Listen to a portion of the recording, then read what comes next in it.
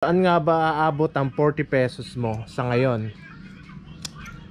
Let's find out kung saan naabot ang 40 pesos. Hi guys, ah, nandito ako ngayon sa Empanada Dimasinloc at para tikman ang kanilang chicken pastel.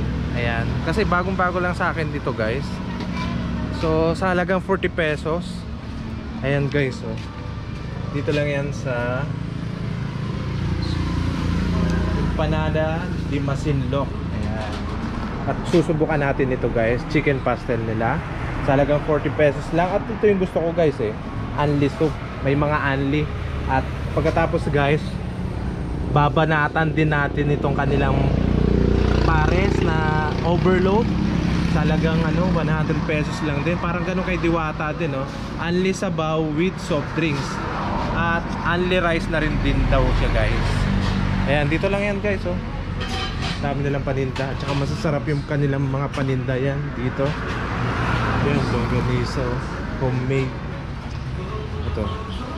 Pakilaman na natin yung kanilang menu. Ah, paubos na rin pala eh. Ang bilis ng Ang bilis maubos yung mga handa nila dito.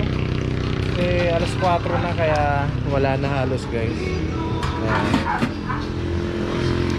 Kaya susubukan natin yung kanilang chicken pastel. Ayan.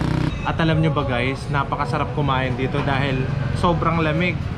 Biroy nyo ba naman guys? Oh. Ayan, may electric fan doon, may electric fan dito. Ayan, tsaka maluwag yung ano area. Napakaluwag. Ayan, ayos na ayos. Punta lang kayo dito guys sa may inubol. Ah, hinihintay ko ngayon ang ano, yung order kong chicken pastel. Ayan na guys, napakasarap nito. Pas chicken pastel. Luto nyo po yan? Yes. Wow. Talagang masarap to. Malamang. Matagal nyo na po ginagawa tong chicken pastel? Ah, babago lang. Ah, bago lang din Siguro sa mga 3 weeks, tatlong linggo pa lang dito sa Empanada. Ah, okay.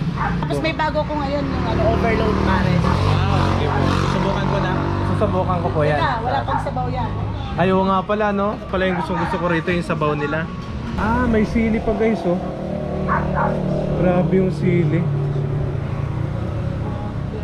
Ito yung Ito yung... ng pares namin. Pwede yan. Tapos ito naman. yung- Ano po ito? Ah, sabaw ng pares at nilaga. Ayan.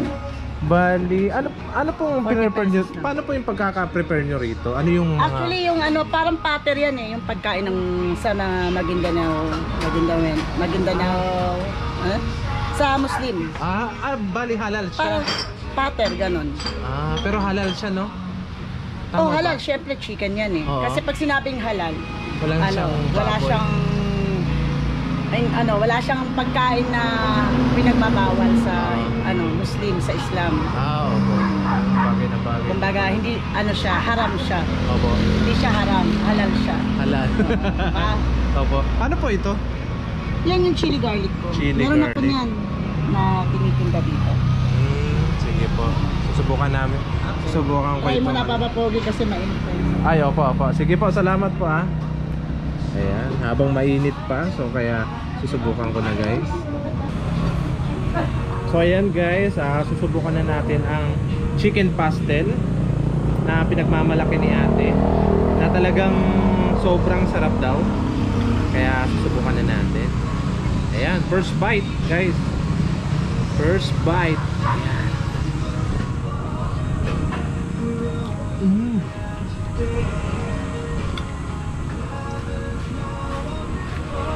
Second bite. Hmm.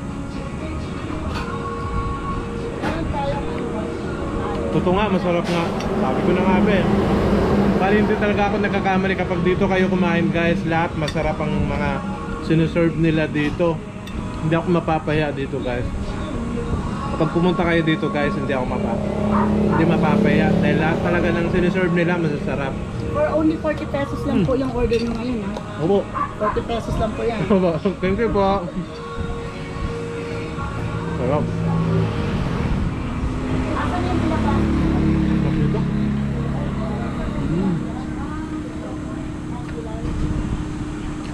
Susubukan natin yung sabaw. Isang, isang nilaga at sabaw ng paras. Susubukan na din natin.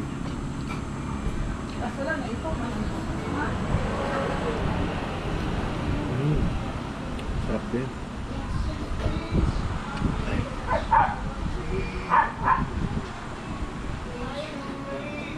Mm. Ah, lahat ng sabaw dito masasarap. Ay, nakalimutan ko na tong ano. Ano ito nilalagay? Kalamansi. Hindi mo na kailangan ng kalamansi, guys. Dahil lahat malasa. Mm. 40 pesos lang guys. Masarap na yung kanilang siniserve. Sulit na sulit. Talagang mabubusog ka sa halagang 40 pesos lang. Tapos may kasama pang may kasama pang masarap na sabaw, anli. Kung mahilig naman kayo sa sabaw, yan. Mga Ilocano, mahihilig sa sabaw yan mga Ilocano.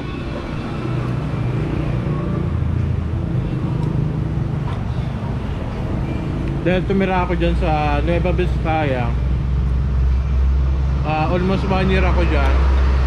Mga kasama kong mga mga lakay, bali mahihilig talaga sila sa sabaw. Yun, magugustuhan nila yan dito. Yun nga lang guys, dito lang to sa Masinloc. Sarap.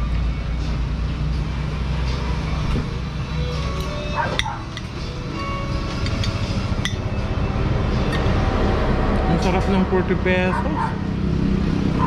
Oh. Mm. Ito, sili.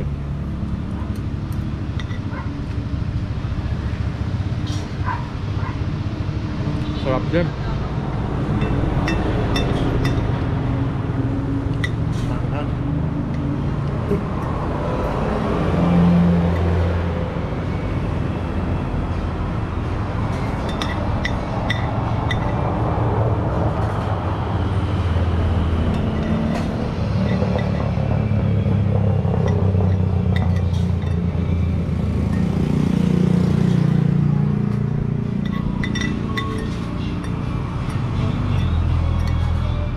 Mm. Last bite. Talaga, sarap. Mm. Sold. At may libre pang yema guys, oh. Ayan, yema. Sarap. Ayok.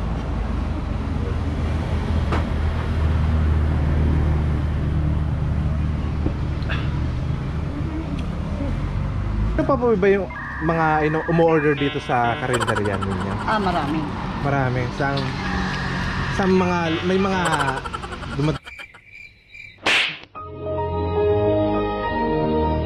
Dami po talaga? Oh, like sa Santa Cruz, yan yung dadaanan lang ngayon. Empanada, alam mo naman empanada ko. Oo, sobrang salap talaga. Tapos Improve. yung nilagang baka, dinakdakan, tsaka adobo. Ah, yun yun po yung madalas na Yung, ah, yung orderin nila. hospital ng Santa Cruz. Mm. Tsaka sa Candelaria din. Ah, obo. Ano, ah, paano po yan? Dinideliver ninyo?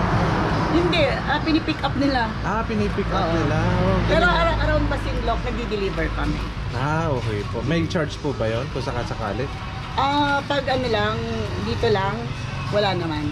Around Masinloc po, Oo, no? wala, walang ano. Pero pagka like, bani na ganyan. Oo, sa Banay. Paano kaya yun? Sa Meron na, 20 pesos. Ah, 20 pesos. Charge. Tapos depende po sa order po, no? May minimum order po. Ah, wala naman. Kung Ah, ano yung wala. order mo, okay lang. Basta mag, magbayad ka lang ng ano. Additional 20 Oo, Pag pesos. sa malayo ah. Opo. Ah, opo. Is, kasi sinasabay naman namin yan eh. Hindi lang naman isa o dalawa. Pag lunchtime, maraming nagpapadeliver. Ah, oo. Galing. Kasi talaga naman masarap yung niluluto niya eh. Ayan nga oh. Siguro kapag may challenge ako na 10 minutes, kaya-kaya kong ubusin yung chicken pastel ninyo eh. Ano yan? Ah, pagka lunchtime dito, maraming taga-school dun sa Northern. Mhm. Maraming more Lahat ganyan. Ah, oh, kaya nga po. Kagaya sulit. kanina, punong-puno to pero pares ang ano nila, yung bago kong promo, yung Oo. 100. Overload Oo. with soft drinks na. Yung kagaya kay Diwata. Oo, kaya nga po eh. Na, nakita ko nga po sa post ninyo eh. Kaya pumunta na. Kaya dinayo kanina ng mga taga-northern. Mm. Sige po pala ah. Thank you po ah. Sige, Papa Pogi. Lalo kang pumupogi talaga, promise.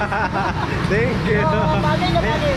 Bagay Kaya nyo, lagi ko pong pupuntahan tong karinderya ninyo. Oo, thank you. Kasi minsan nakakalimutan mo na.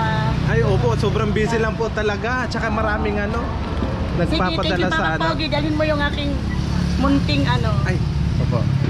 Thank you po Lahat ah. ng kumakain dito may free yema. Ah, totoo po. Wow, thank you. Akala ko ako lang eh.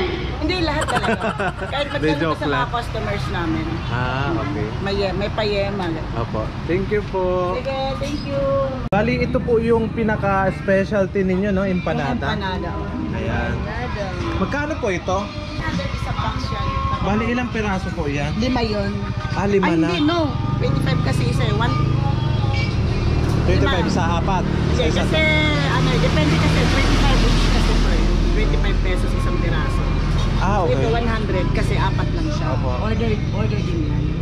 Ano po yung nasa loob niyan? Chicken. Meron din akong mango, di ba? Oo, napaka... Kaya ngayon, napakasarap. Isinali ko dun sa contest. Oo, sarap nun. Merong ano, tuna, merong ham and cheese, tapos Opo. chicken, tapos mango. Ah, okay. Beef, Yun, tsaka po pork. yung mga available ninyo. Ang Ano, ang talagang best seller ko, Mm. chicken. Chicken. Yun. Bali ito guys, i-deliver. ah, Santa Cruz order, pa to. Order ng taga Santa, Santa Cruz. Ayan, layo. Biruin nyo guys, sa ano, Kumbaga, sa ito- Masinloc, pipikapin pa nila. Galing Santa Cruz. Ulam, mga ulam. Kaya nga. Sige po ah, tingin Sige, po ah. Thank you, Papa Pogi. Opo, ah. ayun na po sa abala. Sige, Salamat. Ay boss, sige po. Ito yung kanilang tindahan guys. Empanada di Masinloc. Color pink. Pink na pink yan no? Dito lang yan sa Inhubol. Ayan. Hi boss. Ayan, dito lang yan guys.